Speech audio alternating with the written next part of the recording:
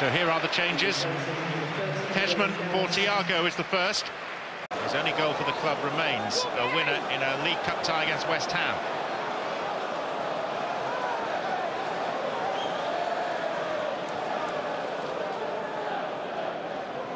So here's Robben. And now Damien Duff. And now Mateja Kezman! Inside of the post and out again. Still seeking its first Premier League goal, Mateja Kezman. Agonising for him. Second comfortable Chelsea win over Newcastle in the space of a month. It could be more comfortable still.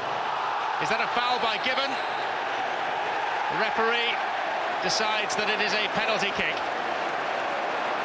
Please don't send him off, though.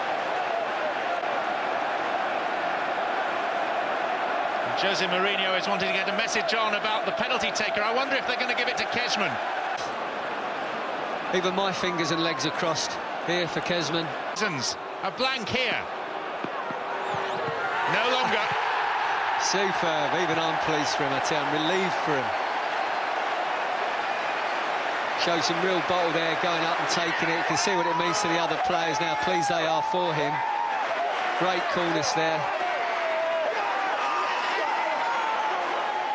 That's made him feel on top of the world now.